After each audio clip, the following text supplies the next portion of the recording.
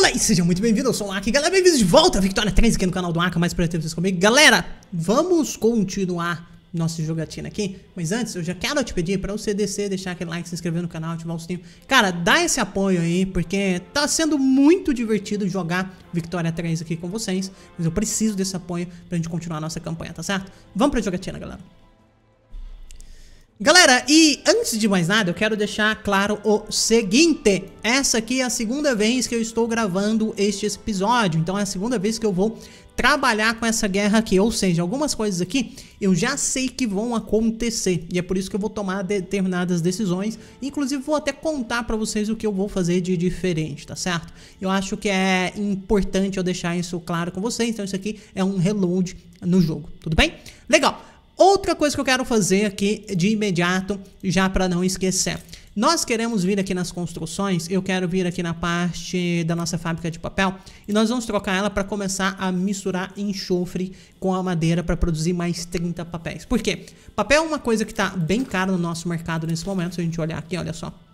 E nós queremos diminuir o preço do papel no mercado. E para fazer isso, a gente vai colocar mais, uh, mais produtos no mercado aí para galera comprar. Dessa forma a gente derruba um pouquinho o preço do papel e faz, por exemplo, indústrias como a Academia da Arte começar a lucrar um pouquinho mais, já que ele está pagando muito caro no papel, né? Não só ela, mas é uma das principais. E lembrando que nós também estamos aqui justamente expandindo a Academia de Artes, ou seja, artes aqui vai ser uma coisa pra gente. Né? Então, isso é um ponto bem importante aqui pra gente trabalhar e eu queria mostrar para vocês. Deixa eu tirar toda essa tranqueira aqui, não me interessa.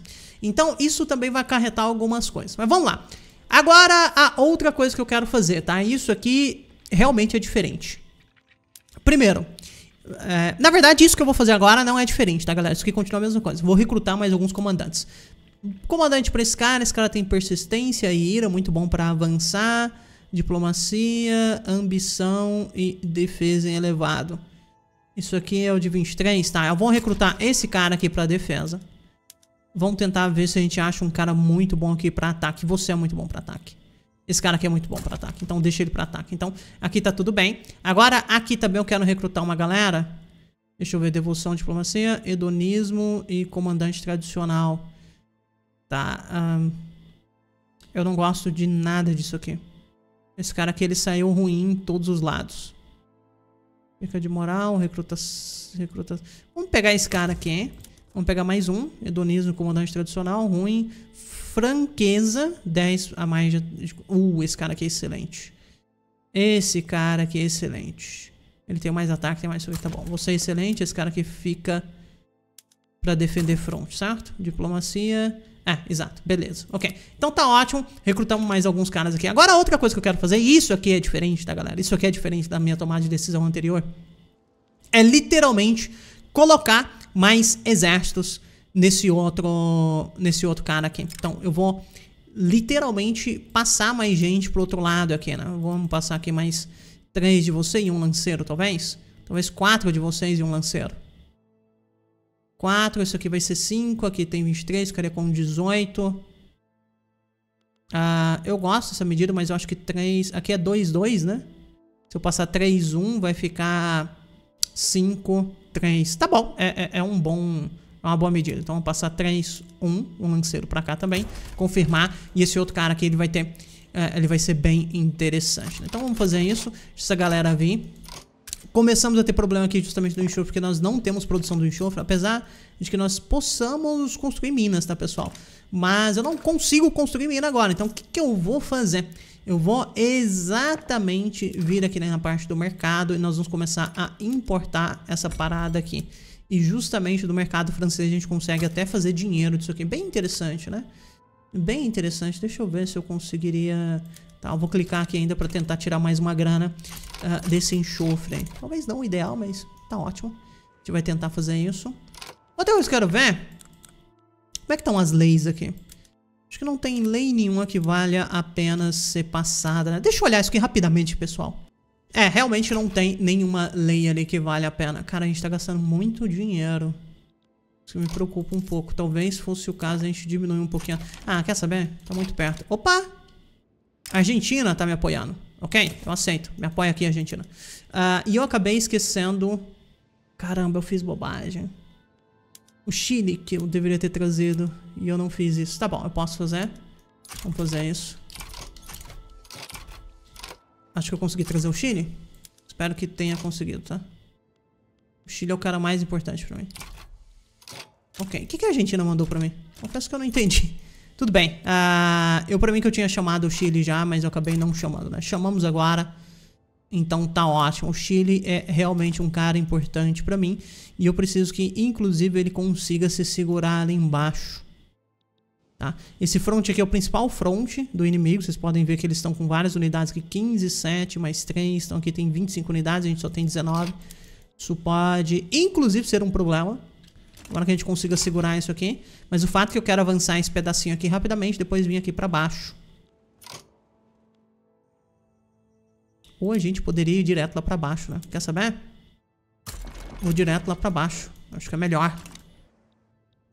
Deixa esse pedacinho aqui de boa. Vamos direto lá pra baixo. Que eu acho que vai dar melhor, galera. Vamos direto lá pra baixo. Deixa esse cara lá pra baixo. Ok? A galera chegou lá embaixo e nós conseguimos concluir aqui o patrocínio do romantismo, né? Inclusive tem um eventozinho aqui que é isso. Construção da Academia da Arte. Ah, eu posso ter 20% a mais na construção de Academia de Artes por 5 anos é, 20% a mais de rendimento, na verdade. Ou eu posso ter 3.5k de progresso na tecnologia do realismo. Eu acho que eu prefiro isso aqui. Deixa eu, inclusive, ver qual que é essa tecnologia do realismo, que eu não me lembro, pessoal. Deixa eu achar ela aqui rapidinho. Ah, aqui, ó. Realismo aqui, a gente ganhou 3.5k. Significa que agora a gente teria que pagar aqui só 9k, né? Isso aqui dá basicamente 5% de prestígio. É isso. E desbloqueia algumas coisinhas aqui. Mas basicamente isso. Interessantíssimo, né? Interessantíssimo. Tá, uh, de fato, nós vamos pra luta armamentista. Então, até agora, pessoal, tudo, né? Tudo como o, o esperado, tudo como planejado. Aqui nós estamos com vantagem, aqui com desvantagem, 2% aí. É a nossa desvantagem, tá vendo? Então aqui a gente tem uma certa desvantagem, aqui a gente tem 24% de vantagem, então a chance de nós começarmos a quebrar a Bolívia por esse lado aqui é bem grande, a gente vai tentar fazer isso. Então, começou a guerra aqui, vamos ver aqui, a Bolívia ela vai conseguir lançar um ataque aqui primeiro por algum motivo. Ok, acho que isso aqui é um ataque da Bolívia, né? Não, isso aqui é um ataque nosso, a gente tá conseguindo de fato empurrar, tá ótimo. Agora aqui que me preocupa. Aqui nós não estamos conseguindo empurrar, como esperado, mas aqui nós estamos conseguindo defender. Ok, então, se a gente estiver segurando aqui, eu já estou feliz, tá? Estiver segurando aqui, eu estou feliz, porque aqui embaixo nós estamos empurrando empurrando com uma certa facilidade. Isso aqui me agrada. Vamos ver aqui a próxima batalha. Estamos segurando ainda. O avanço a gente não está conseguindo avançar. Mas esse é o esperado. O importante é conseguir segurar essa defesa aqui. O que me parece que é verdade. Estamos segurando. Estamos segurando. Então tá ótimo. Seguramos. Ok. Aqui é um avanço, né? Não estamos segurando. Vamos ver a próxima defesa nessa parte aqui. A defesa é a parte importante. E na defesa estamos segurando. Perfeito. E aqui embaixo nós estamos avançando, querendo ou não, né? Caramba, virou? De alguma forma virou aqui embaixo. Tá, isso... Cara, tem 6 contra 1 aqui. Como esse 1 tá conseguindo segurar? What the hell? Como, cara? Não faz nem sentido. Não faz nem sentido. Como que esse cara conseguiu segurar aqui? Não faz nem sentido. Ok, pessoal, finalmente, tá? Um ataque aqui foi lançado que está surtindo efeito. Então esse lugar aqui ele vai empurrar. Ele vai empurrar. E uma vez que ele empurre, a coisa vai ficar um pouco mais fácil, né? E aqui também a gente vai empurrar, beleza. Agora só vamos ficar de olho aqui pra ver como que tá a defesa aqui em cima. Por enquanto não lançamos defesa, vamos ver aqui. Aqui tem um ataque que não vai surtir efeito. E aqui em cima tem um ataque também que não vai surtir efeito. Caramba, cara! Só que aqui agora a gente tá empurrando, isso é muito bom. Tá? Então a gente conseguiu empurrar desse lado aqui. Isso aqui ajuda pra gente. Uh, esses caras, eles não estão com a moral no máximo, eu não sei exatamente porquê. A gente tá com problema de moral aqui, tá vendo? A recuperação ali tá baixa. Vamos ver aqui. É, mas agora a gente tá empurrando com uma certa facilidade aqui embaixo. Então, menos mal. Isso aqui vai acontecer. Como é que tá aqui em cima? Em cima tá empurrando devagarzinho também. Aqui também empurrando devagarzinho.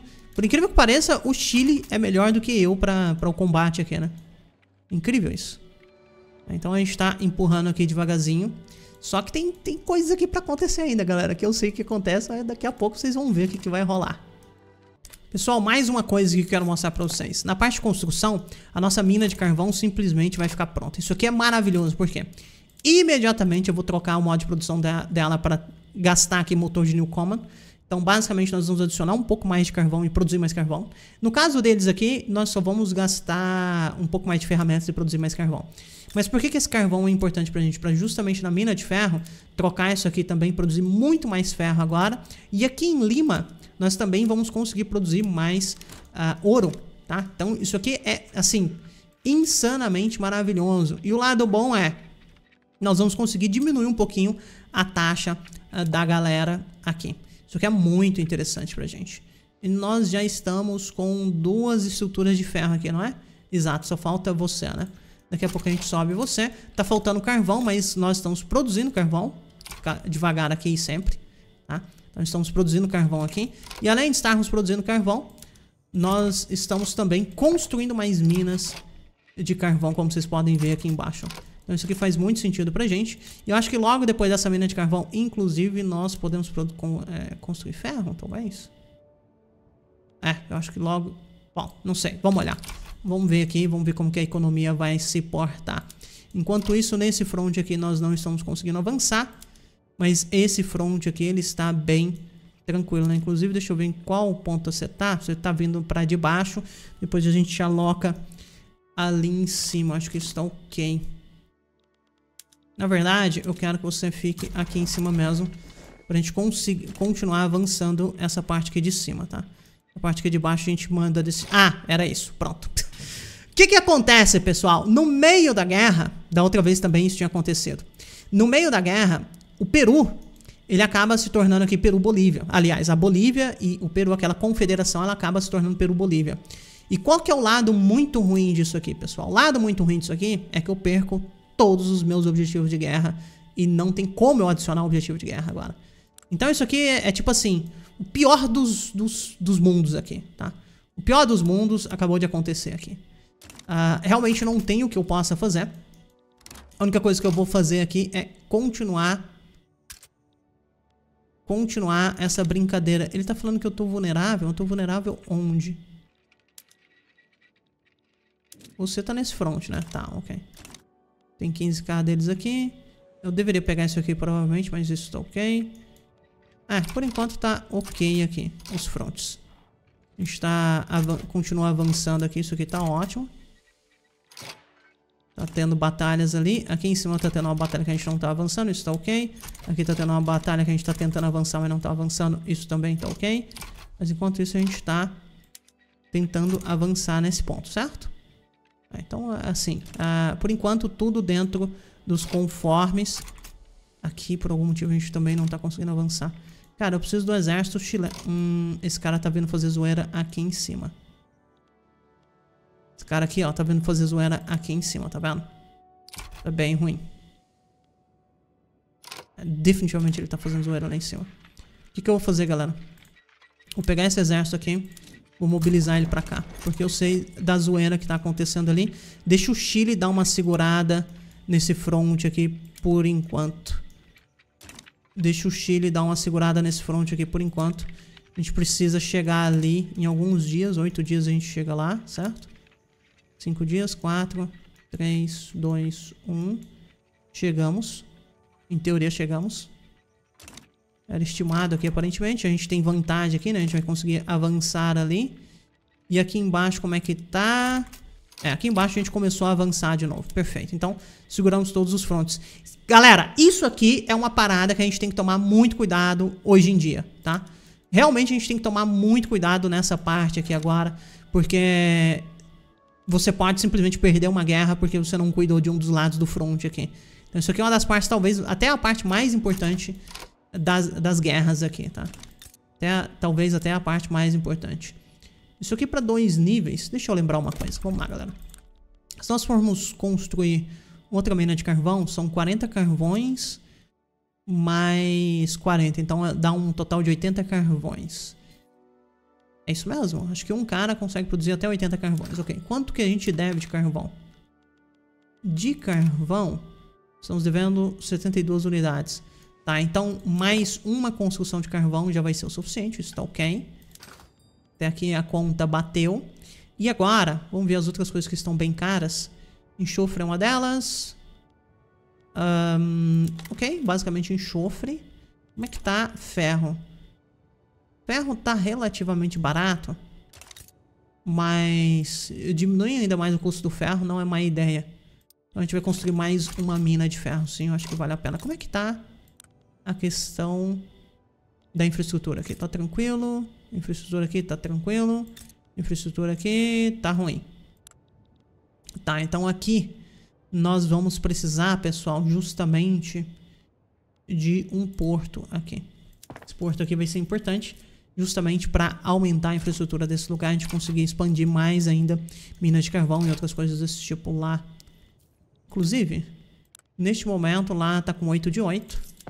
Então a construção dessa mina de carvão aqui não adianta. A gente tem que construir o porto mesmo primeiro.